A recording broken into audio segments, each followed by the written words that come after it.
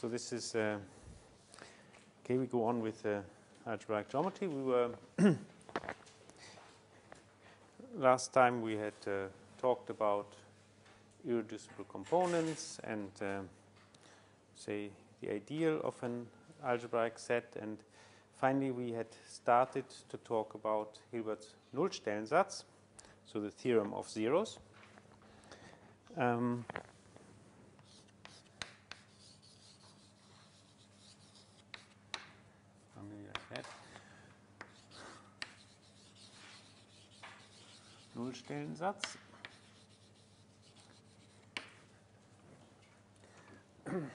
So which is uh, which tells us something about the relation between an algebraic set and the corresponding ideal.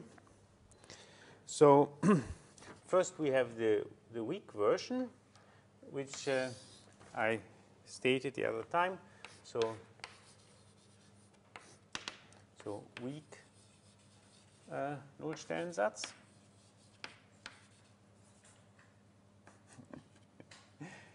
Um, anyway, so as I said, Nullstellensatz means theorem of zeros. But for some reason, it's always referred to by its German name. Um, so this says that if if I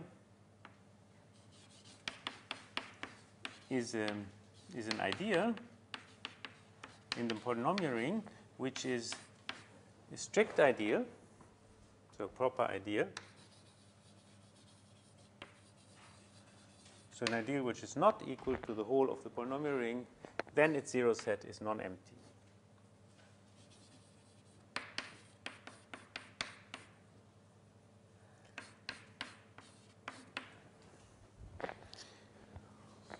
Okay, as I said, I will not prove this now. If you are interested, I will prove it later in the chapter on dimension, when it follows from the things that we do anyway. Um, I will instead use it to prove the strong form of the Nullstellensatz and make some conclusions. Um, so the way we usually want to use uh, this theorem is in this uh, kind of trivial reformulation, which is the following remark. So usually we will use this as follows, is used in the following form.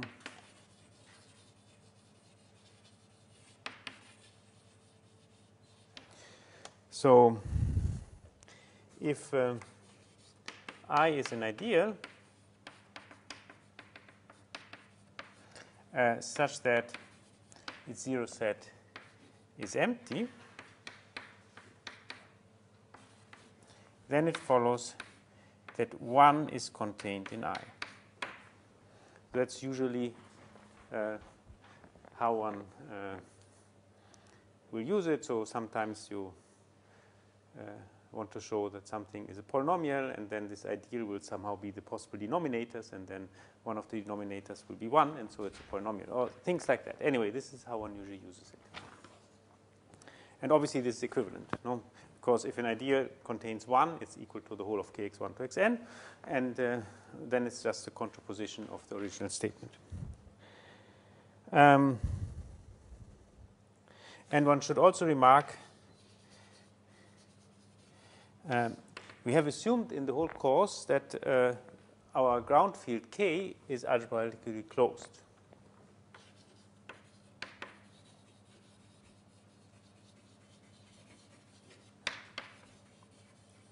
Otherwise, uh, this theorem is wrong.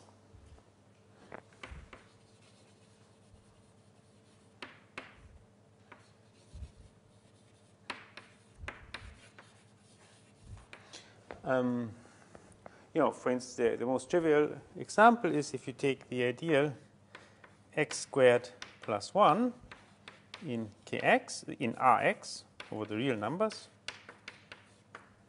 then its zero set if I call this i, the zero set of i will be uh, the set of all uh, points a in k in R such that a squared is equal to minus 1. And so this is the empty set.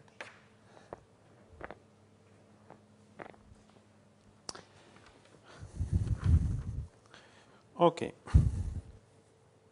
And obviously this is not the whole of uh, Rx. This ideal doesn't contain the constants. So uh, now, um, now we want to. So this is kind of the weak form, and the question is what is the precise relation uh, between an ideal and its zero set. We had seen, so we know that um, if, um, um, say, J is an ideal,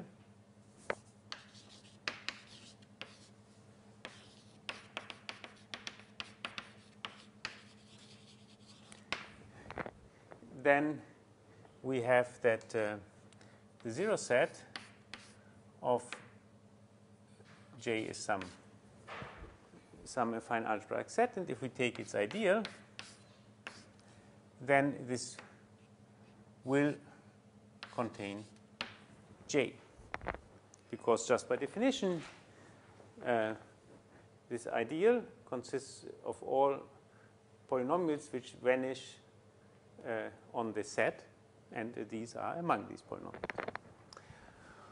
And uh, conversely, if x in uh, is a subset, uh, is an affine algebraic set, so in an affine algebraic set, then we have that uh, we can look at the zero set of the ideal of x. And we had seen that this is actually equal to x that we had seen. It's also easy. So, I mean, the obvious question is whether this is also true here, which means that we would have a bijection between ideals and zero sets. So, is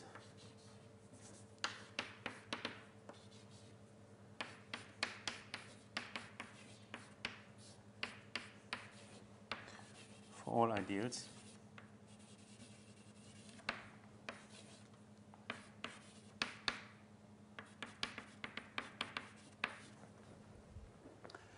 And um, so that, which me would mean that we have a bijection between ideals in kx1 to xn and, and affine algebraic sets. And the answer is no. And it's actually easy to see that this will not be the case because you know, it comes from the fact that if you have a polynomial and the power of this, of this polynomial, they have the same zero set. So, for instance, for instance, we can just look in, in A, A1, we have that if we look at the zero set of the ideal generated by, say, x squared, I mean, this is obviously equal just to point zero. But um, uh, I mean, the ideal of zero. So all the polynomials uh, that vanish in one variable that vanish at zero are precisely the polynomials with with zero constant term. So this is the idea generated by x. Okay, and so they are different. Um, but the the statement of the Nullstellensatz or of the theorem of zeros is that in a suitable sense, this is precisely all that can go wrong. So that it is the difference between uh, the an ideal and the ideal of the zero set of the ideal is by being allowed to take powers of the elements. And so this we want to formalize by introducing this. So definition. So, so let I be an ideal in a ring R.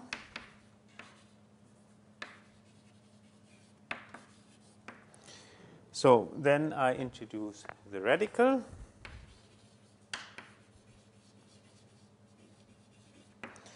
Um, and one can either write it like this or I often will write it like square root, but it's obviously not the square root, it's just radical of i is um, Uh, of i is this, which is the set of all elements in the ring, such that some power of the element lies in I. So there exists an n bigger than 0 such that r to the n is an element in I. Okay.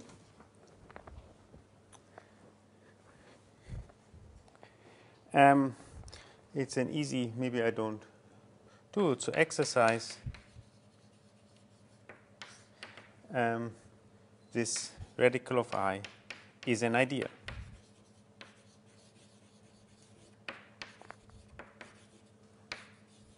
No, if you just straightforwardly go through the definitions, you will find that this uh, satisfies the definition of an ideal.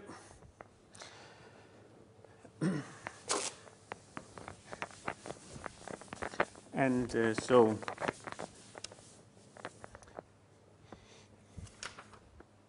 so we call uh, so I is called uh, a radical ideal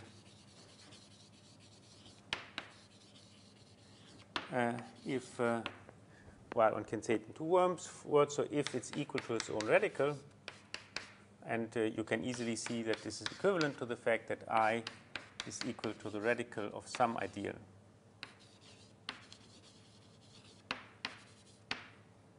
And this comes from the fact that from the definition it easily follows that if you take the radical of the radical, this is equal to the radical.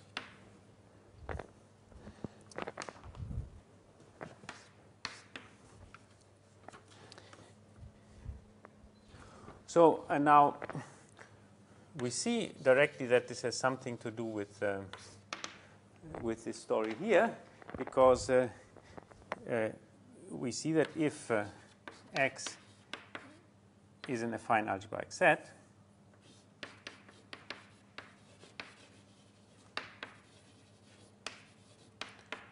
then its ideal is radical ideal.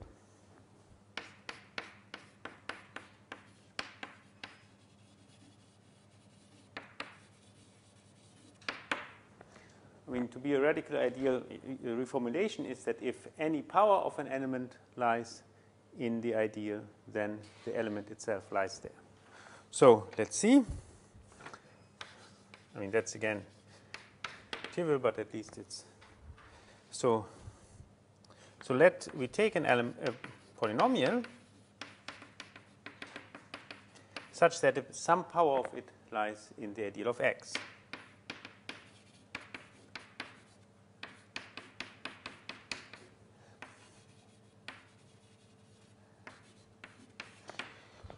Well, so in other words, we have that f vanishes on the whole of x. So, so then for all points p and x, we have that f to the n of p is equal to 0. But this is just the same as f of p to the power n. No? And if a power, so we have this is some number, its nth power is 0, so the number is 0. So thus it follows f of p is equal to 0. So we see that, uh, and thus this means precisely that f lies in the ideal of x.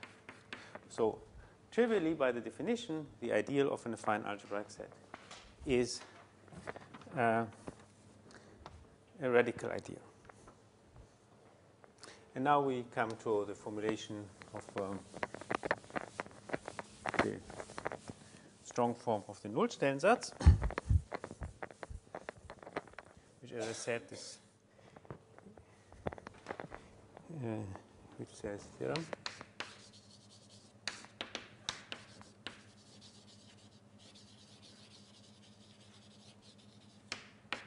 Which says that um, so let I be an ideal in k x1 to xn, uh, then um, if I take the ideal of the zero set of i, this is equal to the radical of i.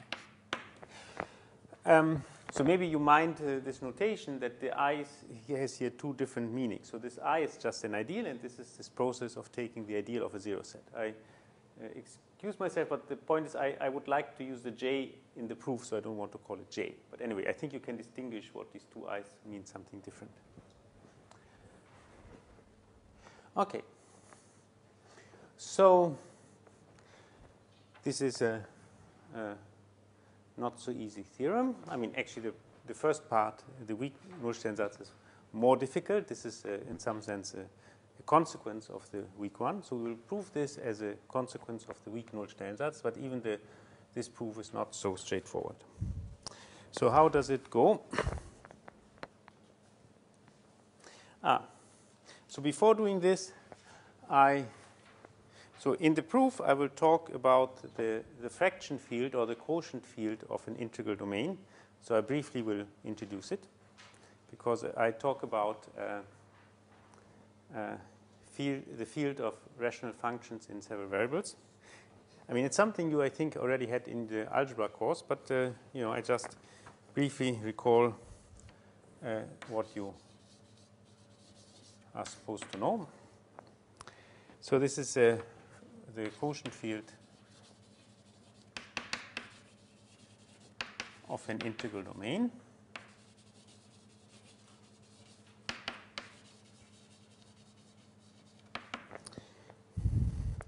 So R should be an integral domain.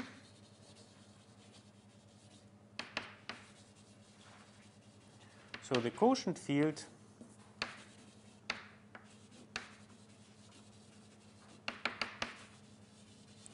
Q of R is a set of uh, some equivalence classes of pairs. So is the set of uh, equivalence classes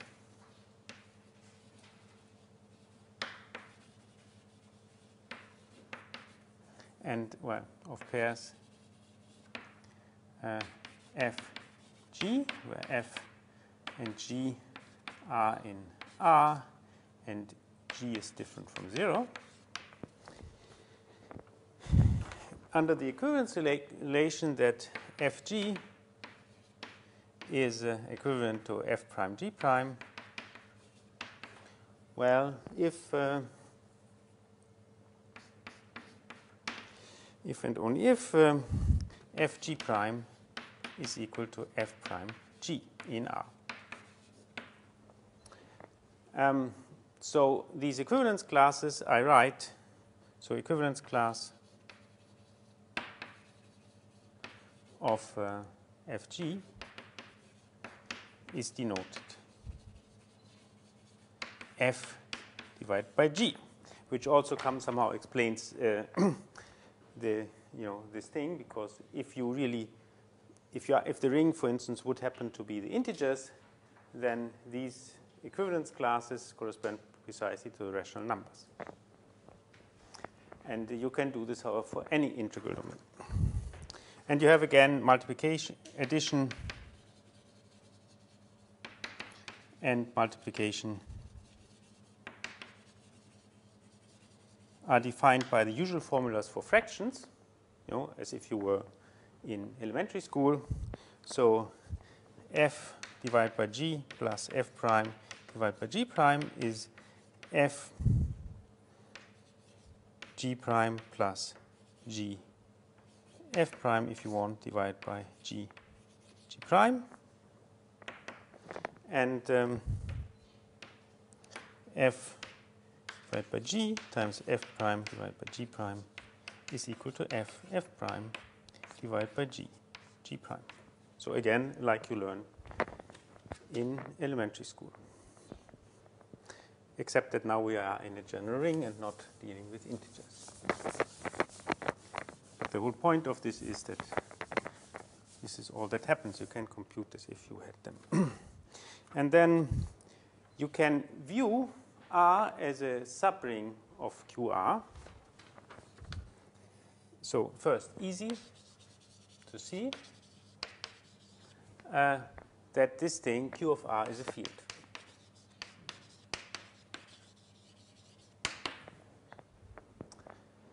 Um, and uh, we have that R, so identifying an element R in R with uh, the kind of fraction R divided by 1 in Q of R. So the map which sends such a thing to this is, is easy seen to be injective, and you can just identify it if you want. Then uh, we get that R is a subring of Q of R. Okay. so this is uh, all very uh, standard. I mean, obviously the inverse of, uh, of f divided by g is g divided by f, as in high school, as in again in elementary school, and so on. Okay. So in particular, we will only look at a very special case, namely that our ring is a polynomial ring in several variables. So, so in particular,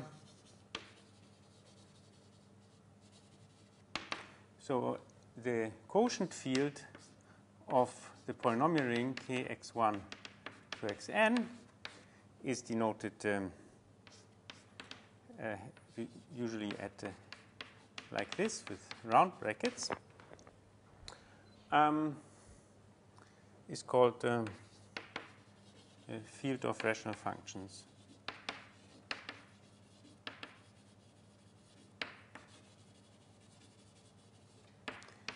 In these variables. And you know, you can see that these are just, so the elements are just, you know, of the form f divided by g um, with f and g polynomials, and you compute with them in the obvious way. You, know, you just multiply them and uh, add them and divide them really as fractions and this will be a field. Okay, so now uh, after this uh, thing, we can, you know, I will use this very briefly in a moment. Now we want to uh, actually come to the proof of this Nullstellensatz, and we will use this uh, this thing. So.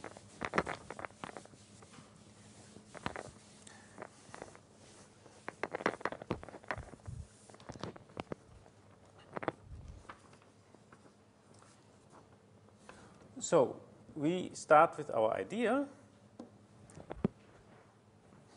So we know that it's finitely generated, so we can as well write that. So we so so proof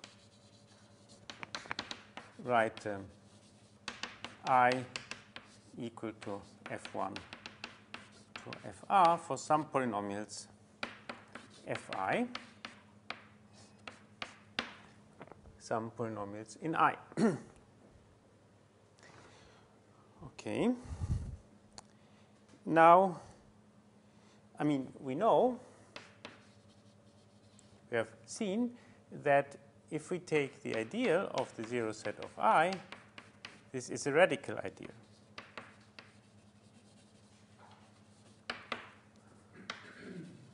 And we also know it contains i.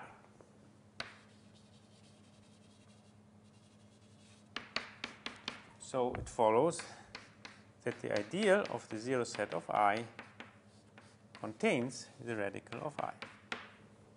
So we are supposed to prove the other conclusion.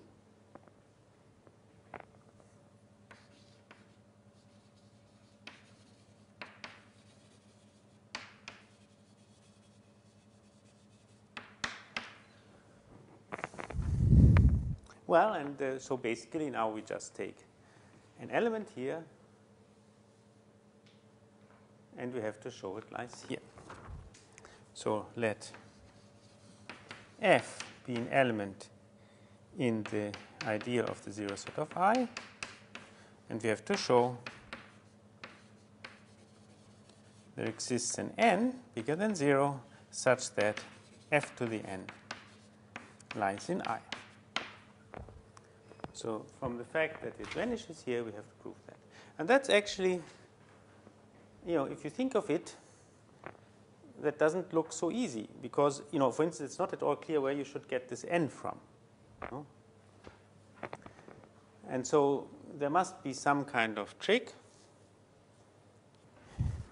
And the and we somehow uh, maybe also want to use the, the weak Nullstellensatz, but it doesn't look very clear how one could do it. But the trick consists in uh, using the weak Nullstellensatz in one variable more. So use weak Nullstellensatz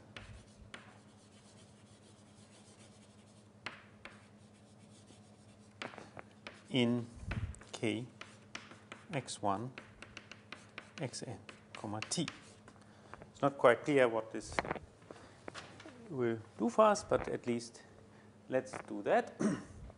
and so for this, we will have to produce an, an I, using i, we, are, we will have to produce an ideal here whose zero set is empty.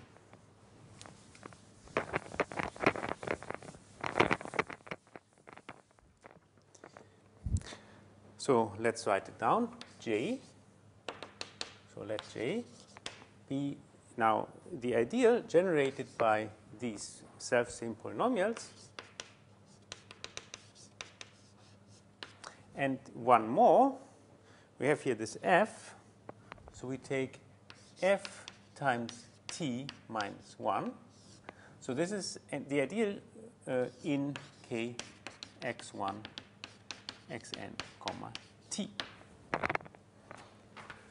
So we first have the ideal generated in this bigger ring by these polynomials which only depend on the first few, and then we add one more polynomial which also depends on t. And so we take this idea and we ask ourselves what is the zero set of J?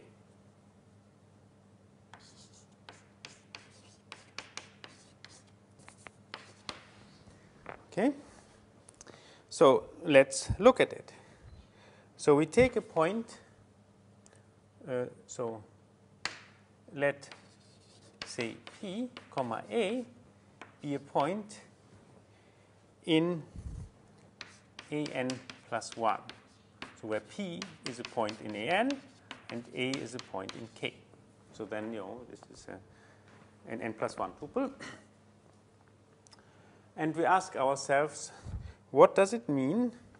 So we want to know whether it can be that PA is an element in the zero set of J. Well, when will this happen? So all of these polynomials must vanish. So this one, these ones depend only on the first few coordinates. So they only give coordinates for P. So the first coordinate, the first statement is that f1 of P until fr of P should be 0. But uh, we know that that so that uh, the zero set of them is well anyway. So we have that uh, f1 of p is equal to fr of p equal to 0, which in this, this itself is equivalent to the fact that p is an element in the zero set of i. No? Because uh, And the second statement is that, uh, well, f of p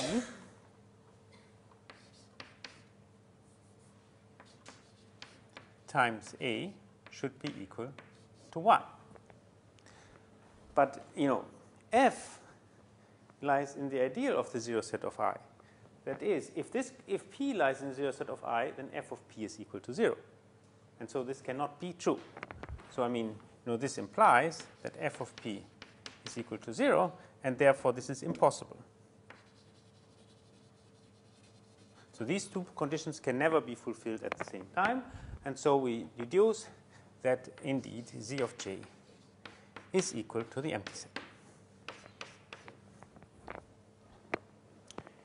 Um, so, and now uh, I told you that we have this way how we usually use the weak Nullstellensatz. So this follows, this implies that J contains the element 1. So by the weak null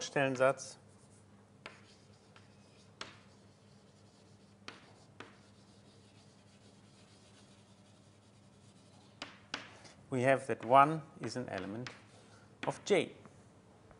Well, and we can write out what this means.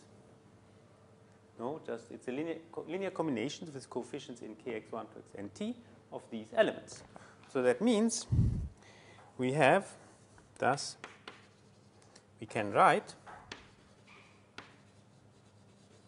1 is equal to say g0 times ft minus 1 plus sum i equals 1 to r gi fi and this identity so where the g0 to gr are polynomials in x1 to xn and t and this identity holds in uh, kx1 to xn comma t. So we have this identity.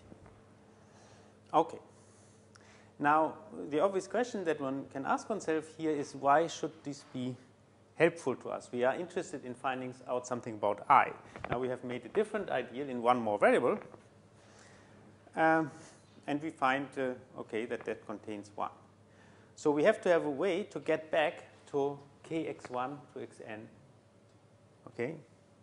And how do we do this? We you know, replace t by a polynomial in, well, we express t in terms of something in x1 to xn. In fact, we replace t by 1 over f.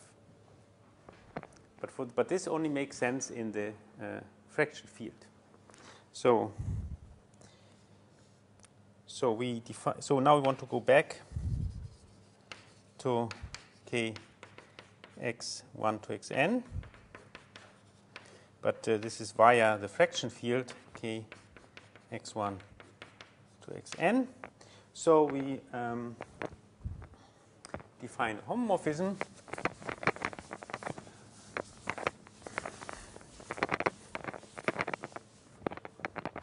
So define a ring homomorphism.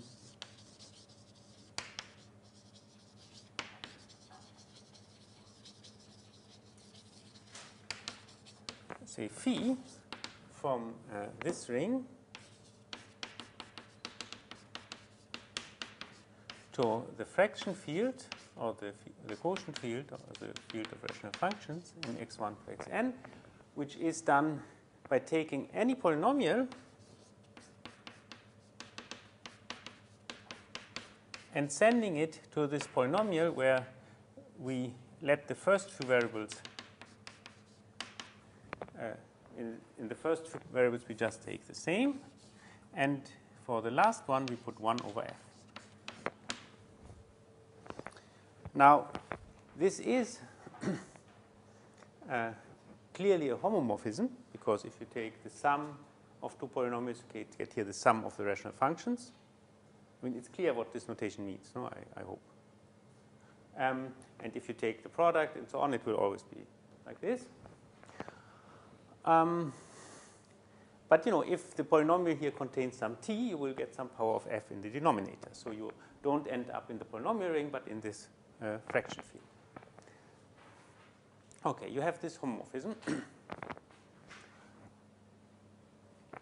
so, and now you know you take this identity and want to see what happens to the identity by applying this homomorphism. Okay, so applying phi. So this. Uh, maybe a star or something.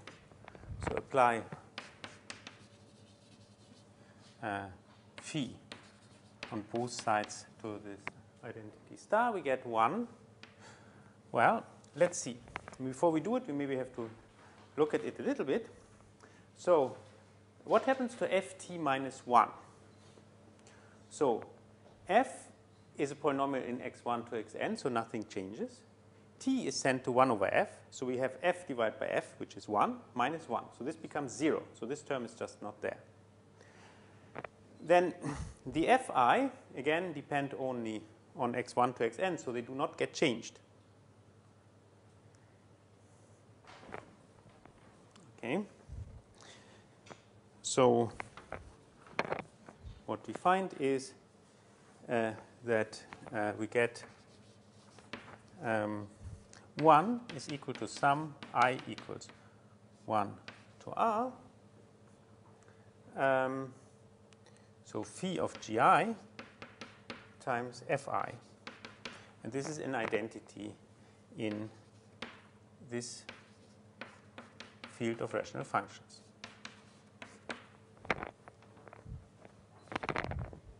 Okay. Now, now we have to, we want to, you know, get rid of the denominator so that we get a statement in kx1 to xn. So we have to ask ourselves what are the denominators.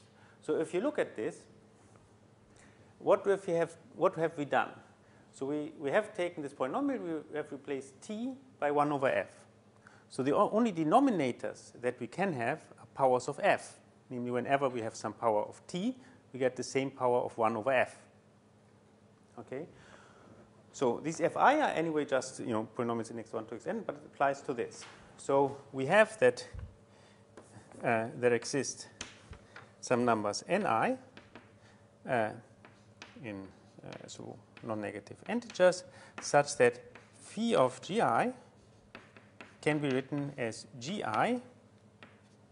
divided by f to the ni to the power ni, where gi is a polynomial in k x1 to xn. No? And so now, if we have that, we can clear the denominators. We can uh, multiply with the, uh, whatever, the maximum of the f, f to the maximum of the ni's, then there will be no denominators here. And here we get the power of f, which actually will turn out to prove the theorem. So let n be the maximum of the ni. So from i equals 1 to r. So then, so we multiply by by f to the n. Then we get, get the identity uh, f to the n is equal to uh, what is it? Gi so sum i equals 1 to r uh, gi times f to the power n minus ni, which is some non-negative number, um, times fi. But now what do we see? So this is a linear combination of the fi's. So, you know, the fi generate the ideal i, large I. So it means that this thing is an element of I. and we have proven what we wanted to prove. We have found some power of f which lies in I. But it comes about in this very roundabout way as the maximal denominator we need in this expression.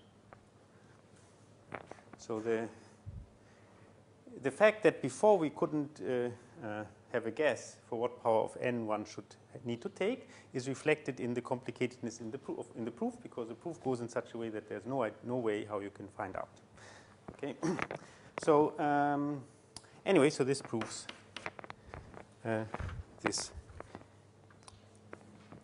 theorem, and you can see it's a, uh, it's not it's a bit tricky. Having to now. Um, moment we will not really have very many applications of it. So we now find that we have indeed this bijection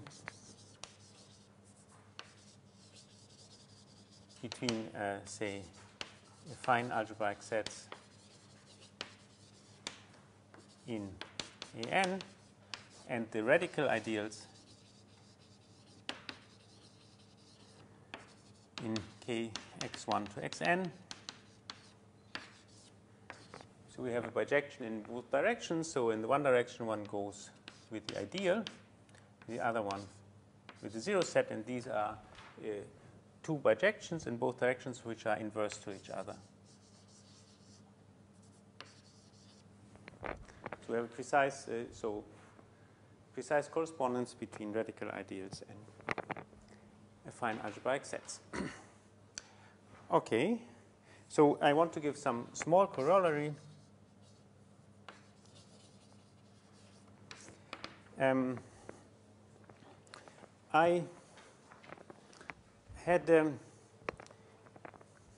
we had proven as a statement that uh, an um, an affine algebraic set is irreducible if and only if its uh, ideal is a prime ideal.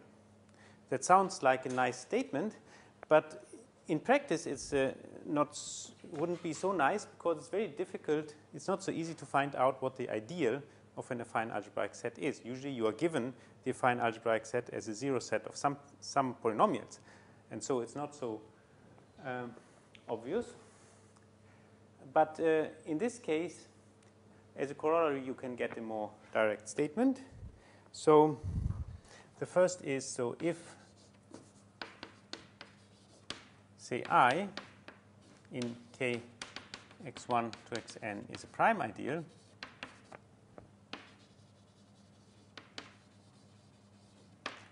then its zero set is irreducible.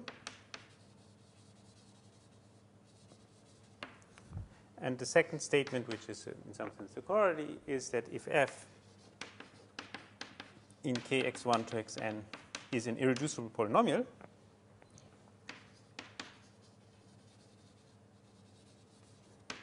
it cannot be written as a product of two polynomials unless one of them is constant, uh, then uh, its zero set is also irreducible.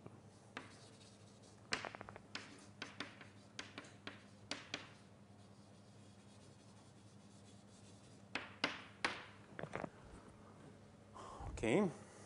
So the other statement was that that we had before is that if um, uh, the ideal of the zero set is a prime ideal, then it's irreducible. So that's not quite the same thing, but it actually is almost trivially so, because uh, from the definition, it follows that prime ideals are radical. Because what does it say? You know, to be a prime ideal means that if you have uh, f and g in the ring, such that f times g lies in the ideal, then it follows f lies in the ideal or g lies in the ideal. And now if you have instead a power of an element, so you have an element in in the ring, so that's, that the power lies in the ideal, then it should follow that already the element lies there. This is a special case where, you know, these f and g can be taken as one f and the other one some power of f. Okay? And then you can make induction. okay. So, so thus, if uh, I is a prime ideal,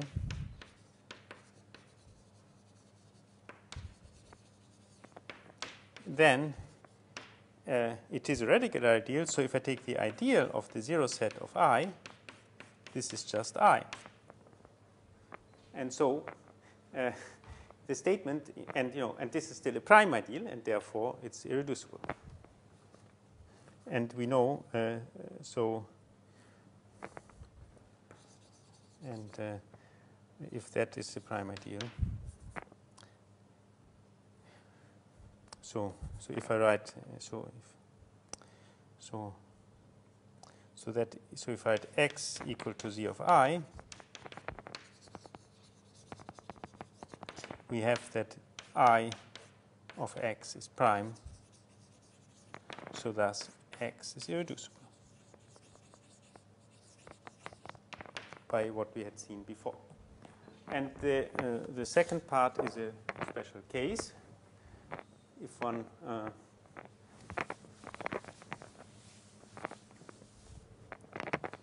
so um, for 2, uh, if uh, f is irreducible, so um, it is a fact which uh, was maybe mentioned or maybe also proven, but I don't know, in the algebra course, that k x1 to xn is a unique factorization domain.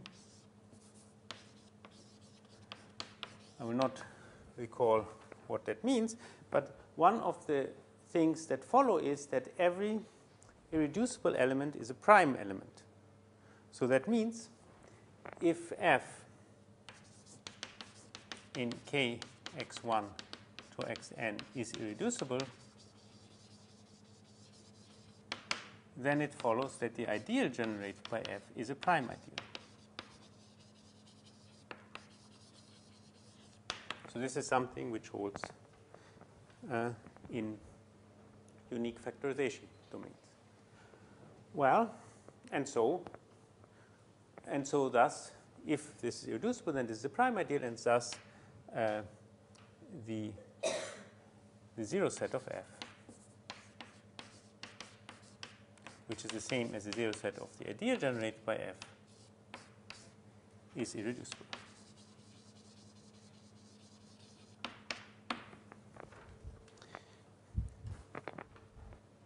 Okay.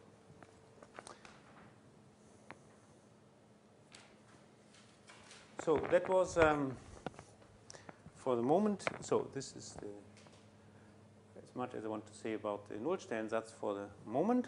So now I want to come to a different topic, which is projective varieties and projective algebraic sets.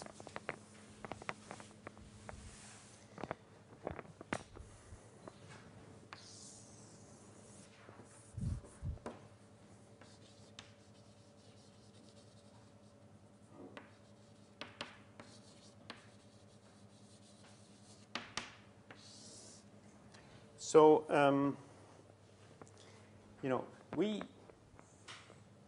here do everything over some algebraically closed field, but for the intuition, it's in some sense best to think uh, about the complex numbers.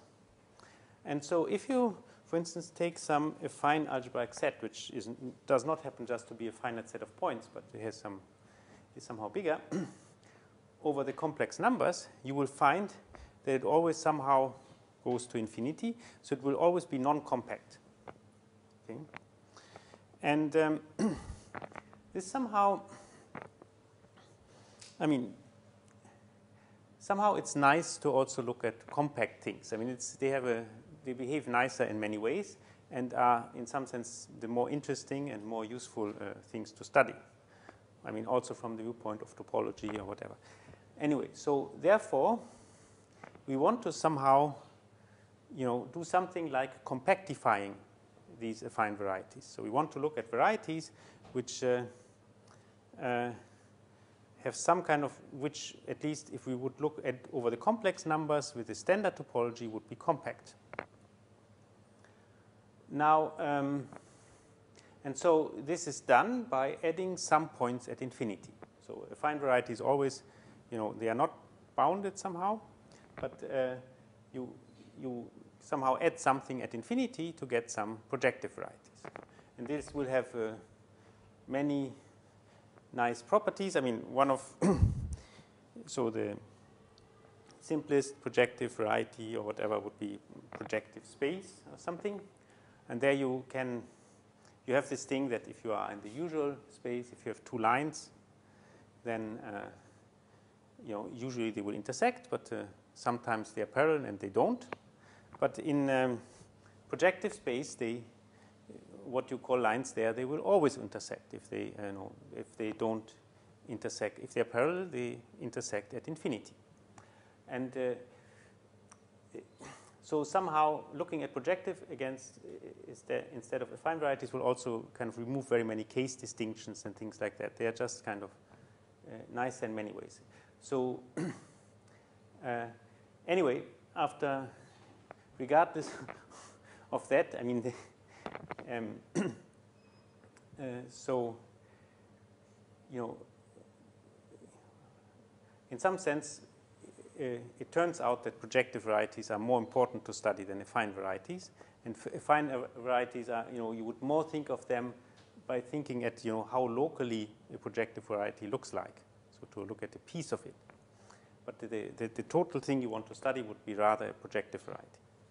And so we want to uh, now introduce them. So I first tell you what the projective space is, and then projective varieties will be uh, zero sets of polynomials in projective space, where we even have to worry what we mean by that. So first, projective space.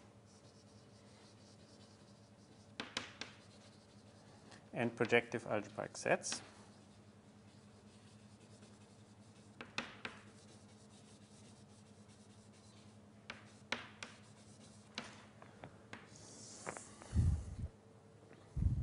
So, uh, so on, so this is a definition.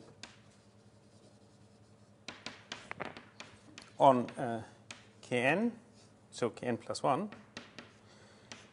without the origin, so the origin in kn plus 1, uh, I have an equivalence relation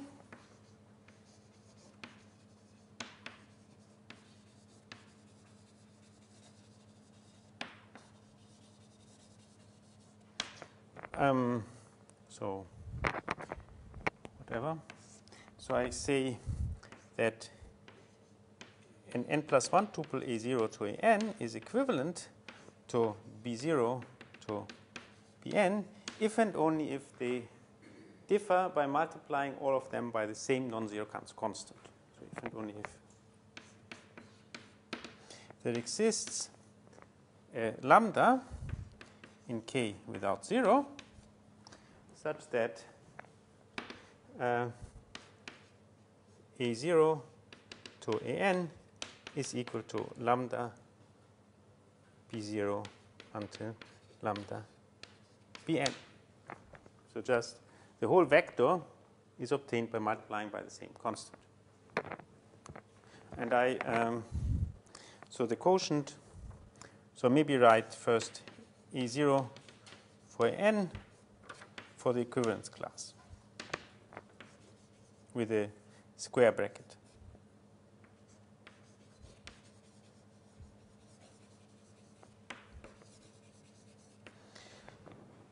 And um, the, the quotient I call projective space. So n-dimensional projective. So projective n space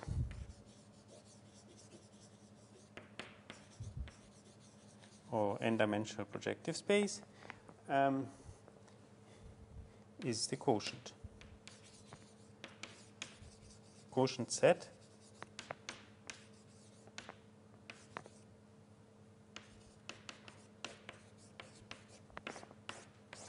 divided by this equivalence relation. Okay.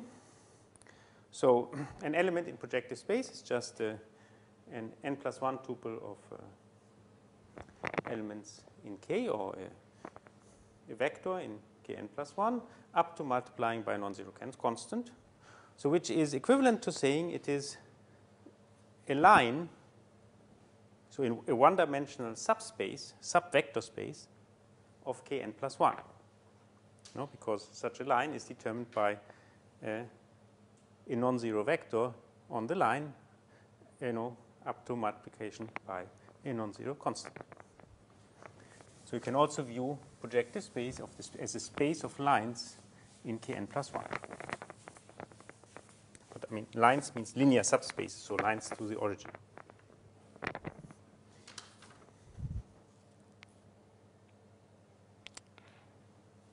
So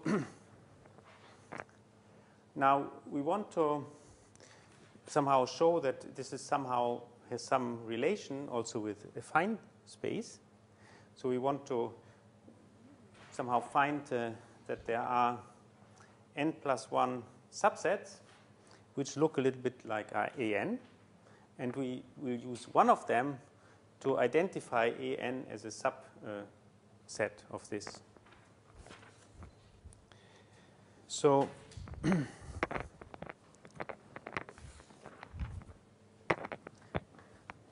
definition.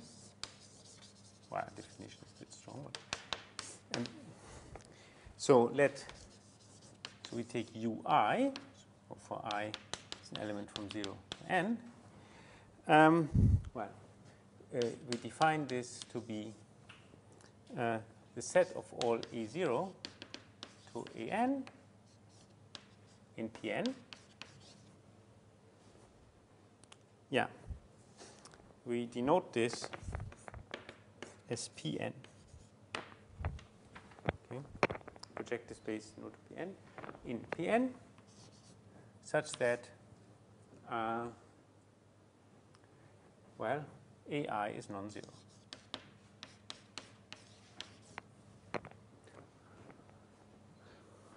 Okay. And now I define uh, a bijection of this to uh, an. So I take phi i from ui to an, which sends uh, a point a0 to an to uh, a point here in an. So I take a0 divided by ai, and then it would, would go, go on a1 divided by and so on. At some point, I arrive at ai divided by ai, and this I leave out. No, I want only n coordinates. And uh, then it goes on until a n divided by ai. So this will be uh, something in an, and I, I am allowed to make this quotient because I have assumed that ai is non-zero. So this is certainly uh, a well-defined map, and I claim it's a bijection.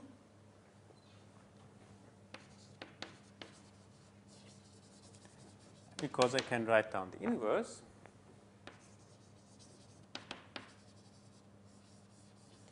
So say ui from an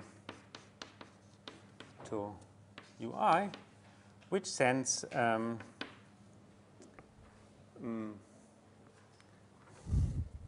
well, I write like this. I, I take, I want to have write, write down an n tuple here. I do this by writing an n plus 1 tuple, of which I leave one out. So I take, say, b0, and bi is not there until bn. We send this to, b, to b0. And in the ith position, I put 1. I mean, the ith position is not here, but, you know, just where, and uh, bn. And you can check that these two maps are well defined and inverse to each other. I mean, I don't know whether you, you might have already seen something like this in differential geometry or something. If you define manifolds, you can find the projective space as a manifold by giving it local charts to it, and uh, this would somehow be such a local, would be such a set of local charts. anyway, we have this.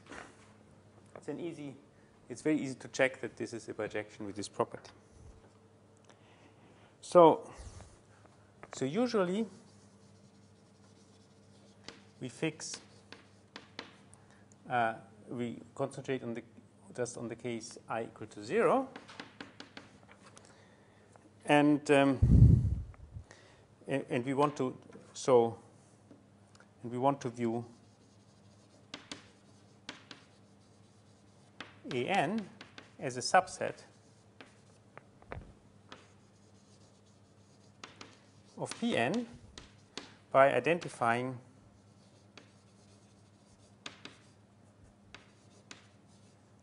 uh, the point, um, say, uh, A1 to AN. In AN, with its image after, after under this, so with the point 1 a1, an, and pn.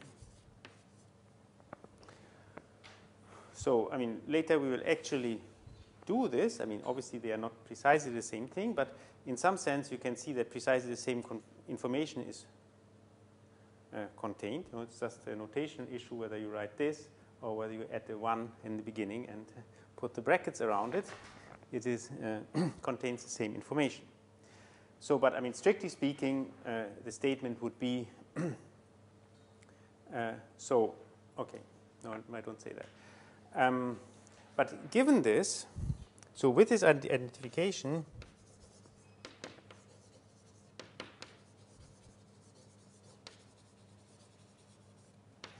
we have uh, Pn is equal to the union of An and H infinity, where uh, H infinity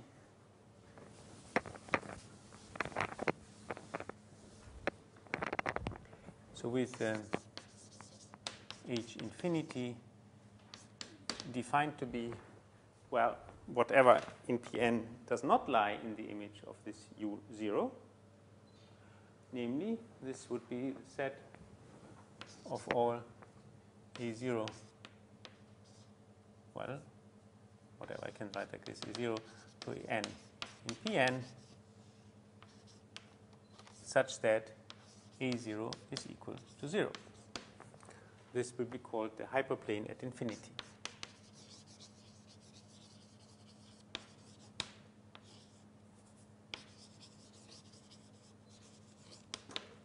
So when I write this notation, strictly speaking, what it really means is that Pn is equal to U0 of An union H infinity. No?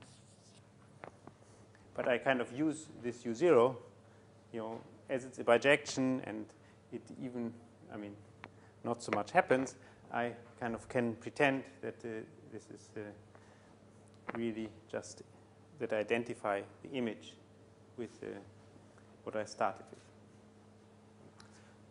Okay. So, and, so anyway, but if we have this picture, we can really see that Pn is obtained from An by adding something, namely this. So it is, it is uh, you know, An plus something added at infinity.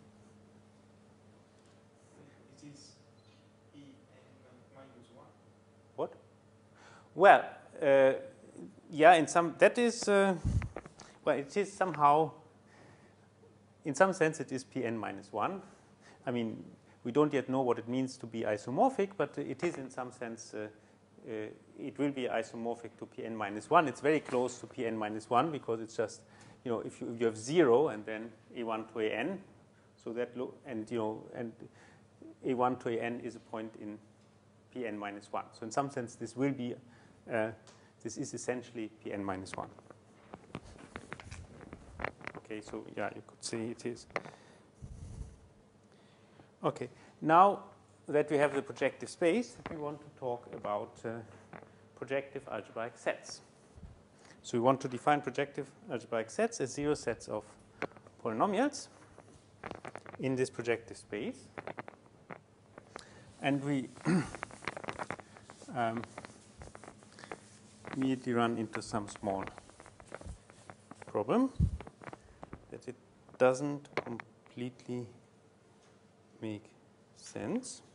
So we want to define projective algebraic sets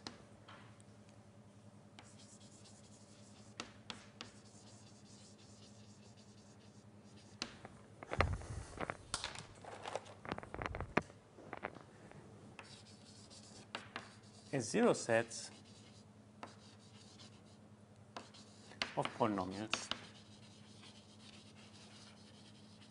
So of sets of polynomials in so so if we are projective algebraic sets in Pn, this will be of polynomials in k x0 to xn.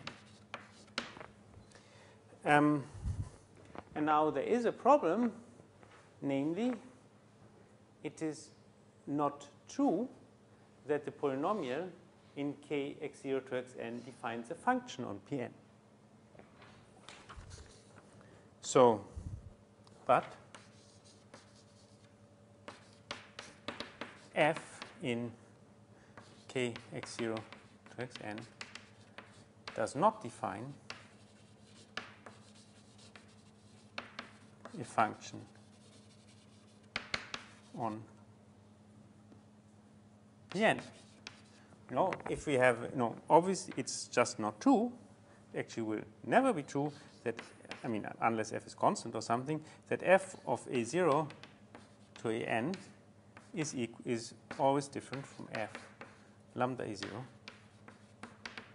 lambda an. No? So we, we don't have that is a function.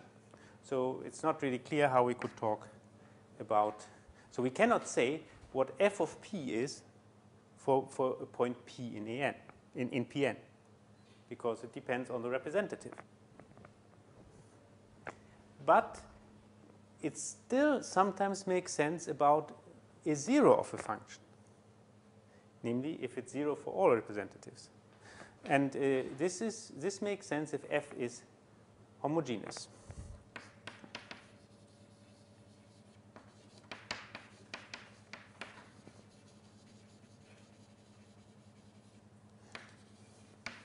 Can still say whether P in Pn is a zero of f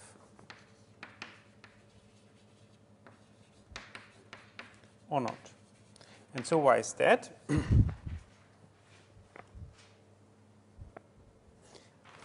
well, this is the, you know, so I, I hope you remember what it means for a polynomial to be homogeneous. So you have that it's a linear combination of monomials, so some product of the xi's with some powers. Um, and it's homogeneous if the degree of all, of all monomials is the same. And that would then be called the degree of the, this polynomial. so, so is the following remark. If uh, f is homogeneous, is homogeneous of degree d,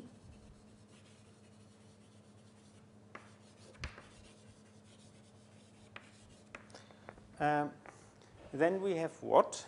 If we take f of lambda a0 until lambda an, then this will be equal to lambda to the d times f of a0 an. And this is actually kind of obvious because if you take any monomial of this polynomial, it has degree d.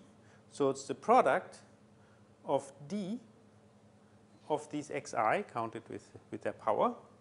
So if you put it into, you get uh, d of these lambda ai's. So out of each factor, you get, uh, out of each of these, uh, you get one factor lambda. So you get lambda to the d, comes out of every, every monomial. Okay, so we have that. So in particular, so thus, thus, whether f of a0 to an is equal to 0 depends only on the class of a0 to an, so on the point in projective space. No, because lambda is a non-zero, you know, if you multiply by a non-zero constant, then the question whether or not it is zero is not changed.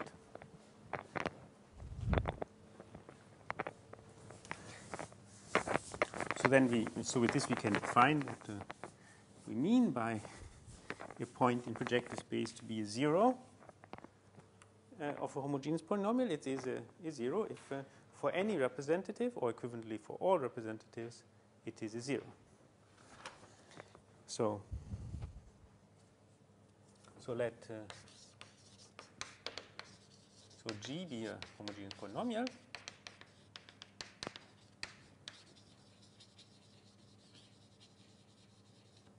So a point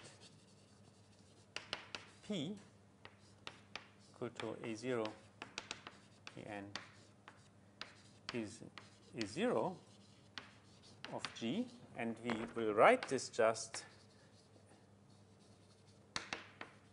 we will just write this as G of P is equal to 0. Although, I mean, in general, G of P doesn't make sense, but the question whether G of P is 0 makes sense. Um, if, well, G of A0 to AN is equal to 0 for 1 and equivalently all representatives of uh, this point.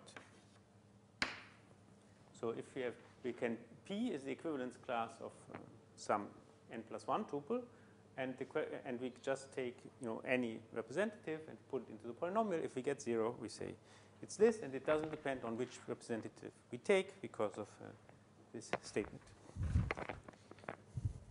Now we can talk uh, about zero sets of sets of polynomials. So let S in uh, k x0 x n be a set of polynomials, set of homogeneous polynomials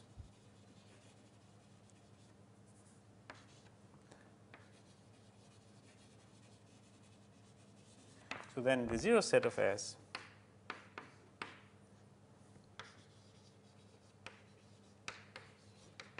is defined to be so z of s, um, the set of all points p in Pn such that f of p is equal to 0 for all f in S. As before in the affine case with this uh, definition of what f of p being equal to 0 means. Um, so a subset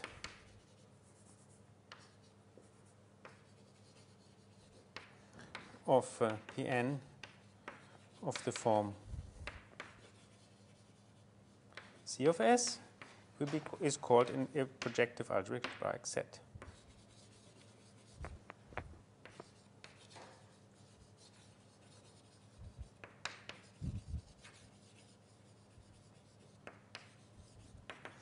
So now we have defined what projective algebraic set is. So we only had this tiny difficulty with saying what the zero of a polynomial is. But uh, for homogeneous polynomials, that's okay. And now uh, we want to uh, also, I mean, we want to basically repeat what we did for affine algebraic sets. So, so for instance, we want to show that, that every projective algebraic set is a zero set of an ideal. But one has to be a little bit more careful because we, you know, we have, you know, somehow have been forced to talk only about homogeneous polynomials. So somehow that will also uh, play a role here. And so we um, we will have to deal with so-called homogeneous ideals. Before that, maybe I can give a couple of trivial examples which anyway we will use. So, for instance,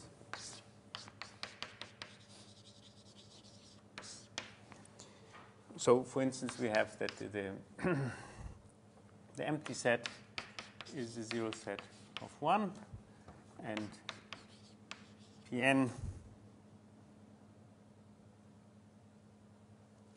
is, uh, say, the zero set of the empty set of polynomials. So we again have a, the most trivial uh, sets. Then we also can, the points are also fine algebraic sets. So if P equal to A0 to AN is a point in Pn, then we have that, uh, well, P can be written as the zero set of um, um, of what? So we say, for instance, we take x1 minus, a1 x0 minus a0 x1 a2 x0 minus uh, a0 x2 and so on an x0 minus uh, a0 xn. So if I'm not mistaken, you find that this precisely will determine uh, this equivalence class. I mean, so precisely the statement that, uh, you know, that up to multiplying by a non-zero constant, uh, the coordinates have to be these. Anyway, you can check that. So now we want to come to the story with the ideals.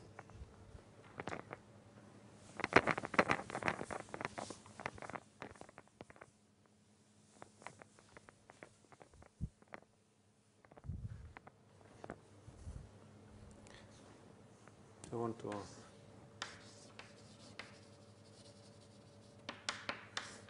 So if we have a polynomial, we can always write it as a sum of homogeneous polynomials. So the polynomial f in k x0 to xn can be written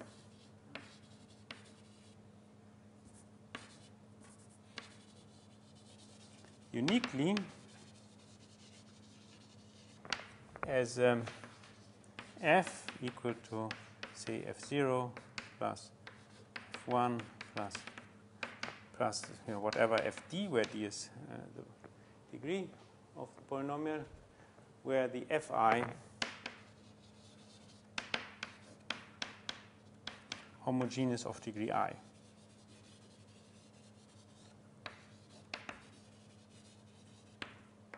we just take all the monomials of degree i together with their coefficients, and we take the sum of those and uh, put them together. So these, these fi are called uh, homogeneous components.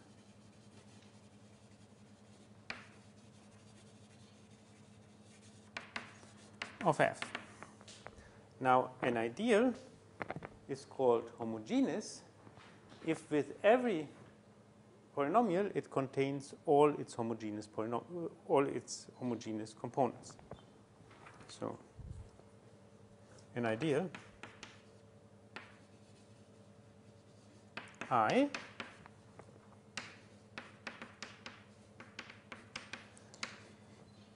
is called homogeneous, so homogeneous ideal if for every f in I also all homogeneous components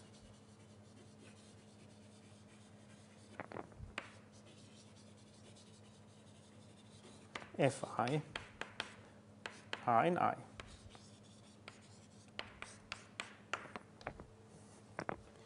Okay, so this is slightly strange definition, but there's a, you can formulate it in another way, namely have the following proposition. So more remark. An ideal is homogeneous if it's generated by homogeneous polynomials.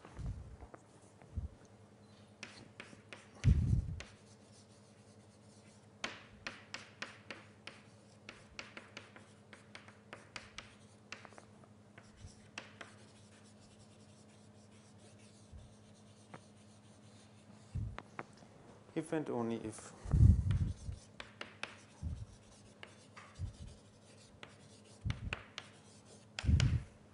it is generated by homogeneous polynomials.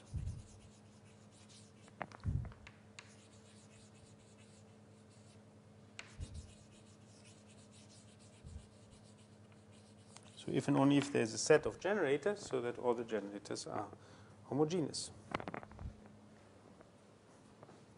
Well, I don't know whether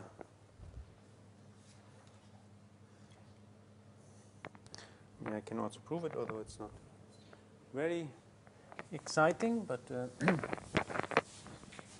at least see it. So, proof. So we assume we assume that I is homogeneous. And so we take some system of generators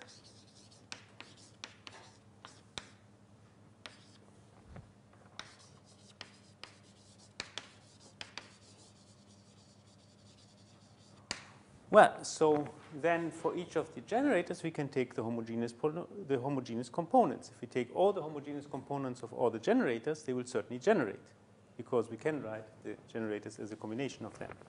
So then the F alpha i, all alpha and i are a set of homogeneous generators.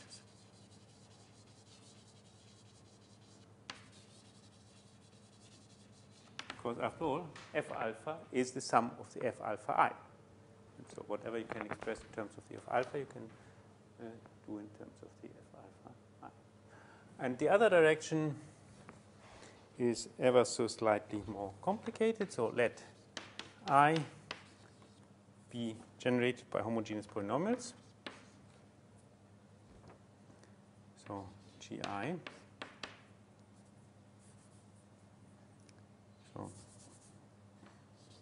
generated by say gi i, where these are the gi are homogeneous.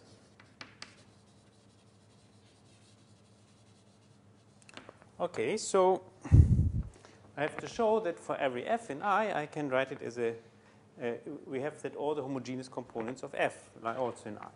So we take an f in i, So then thus we can write f is equal sum over i, a finite sum uh, ai gi, because after all the gi are generators, with ai some elements in k x0 to xn, not necessarily homogeneous.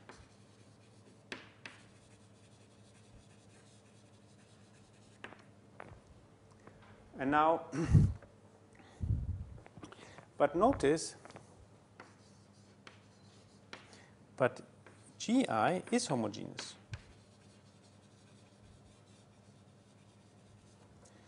Um, so, no. So the homogeneous part of a certain degree of this product is just, you know, this gi multiplied by the corresponding homogeneous part of ai. So thus, the homogeneous part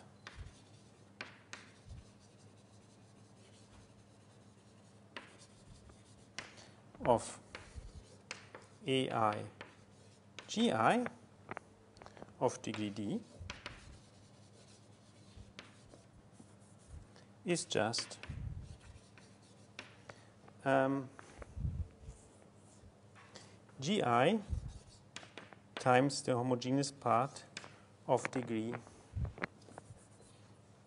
Sorry i the homogeneous part of degree um, d minus the degree of gi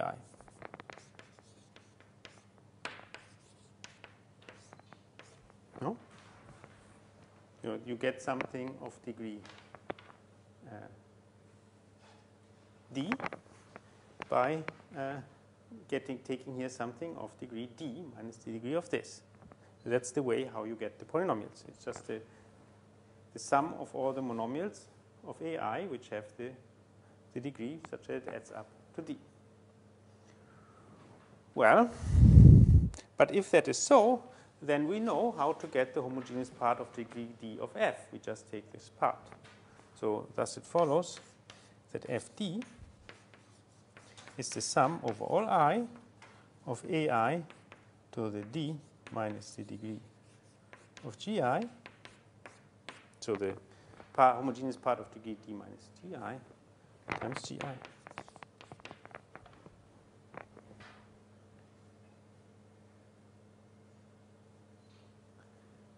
Okay, and so uh, the gi, so it, it is a linear combination of the generators, so it follows that this thing is indeed an element in I. Okay.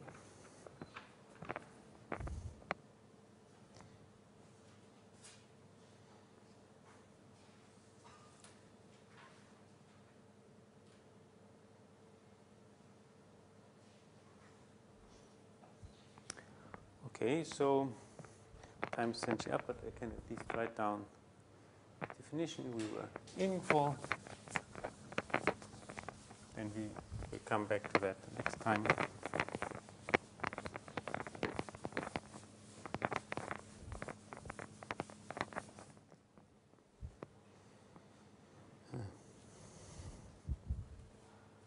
So, so we want to say what the zero set of an ideal is. So according to our, uh, and we want to say this for a homogeneous ideal, but we cannot say it's the zero set of all the elements in the ideal because we have only talked about zero sets of homogeneous polynomials. So we only talk, this, it's the zero set of all the homogeneous elements in the ideal. So, definition that I in k x0 to xn be an ideal. So the so in some sense projective, but we will not write it, zero set of I is uh, is uh, denoted again z of i, which is the set of all points p in Pn, such that f of p is equal to 0 for all homogeneous elements. Uh, do I want an ideal or I want it homogeneous? Yeah, I want a homogeneous ideal.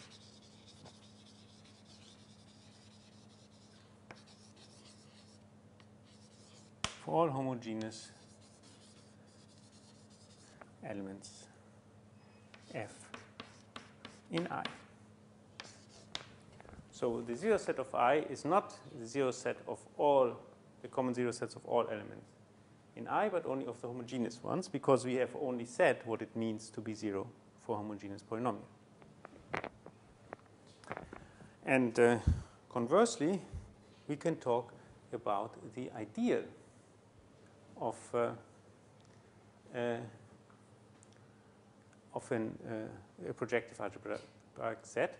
This is thus the ideal which is generated by all homogeneous polynomials which vanish on that set. Or just, um, so for a subset,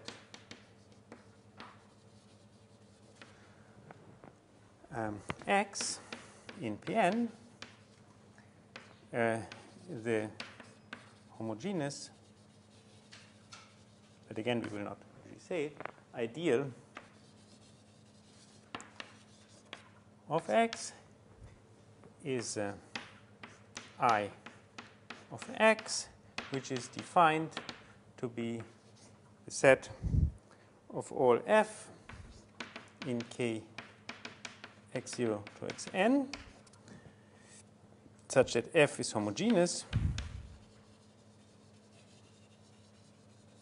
and f vanishes on the whole of x. So f of p is equal to 0 for all p in x. And by definition, this is a homogeneous idea.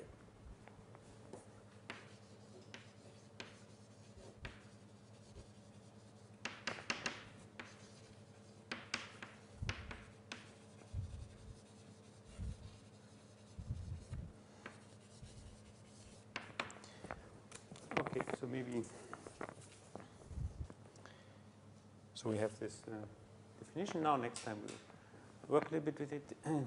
so we, we have seen we have kind of uh, made the same, I mean, the analogous definitions to the affine case. We want to then prove that most of the results uh, we proved in the affine case also hold in, in a suitable way in the projective case. And then, uh, okay, that we will do the next time. So thank you and uh, see you next week.